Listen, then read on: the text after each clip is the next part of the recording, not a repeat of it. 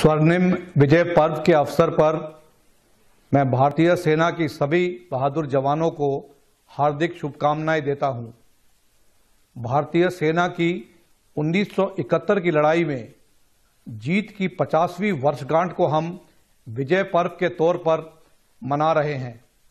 मैं इस पावन पर्व पर सशस्त्र सेनाओं के वीर जवानों को याद करते हुए उनके बलिदान को श्रद्धांजलि अर्पित करता हूँ।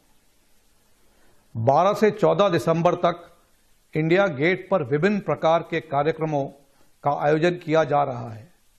यह बड़े सौभाग्य की बात है कि विजय पर्व अमर जवान ज्योति की लौ की छाव में आयोजित किया जा रहा है, जो कि हमारे वीर शहीदों की याद में स्थापित की गई थी।